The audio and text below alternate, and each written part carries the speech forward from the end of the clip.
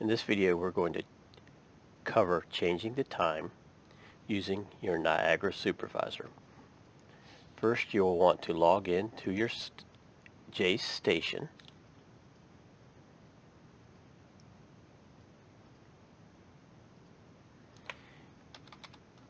Enter your password. Expand station. Expand configuration. Expand drivers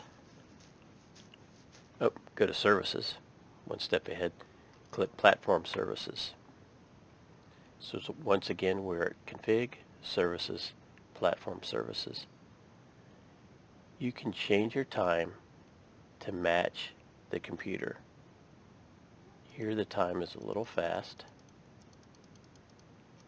We're going to make the time match the computer time and hit save.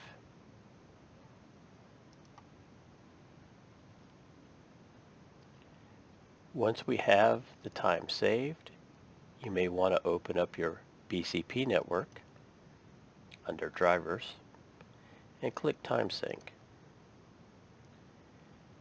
We do want to send our time to the network and we can say all connected networks.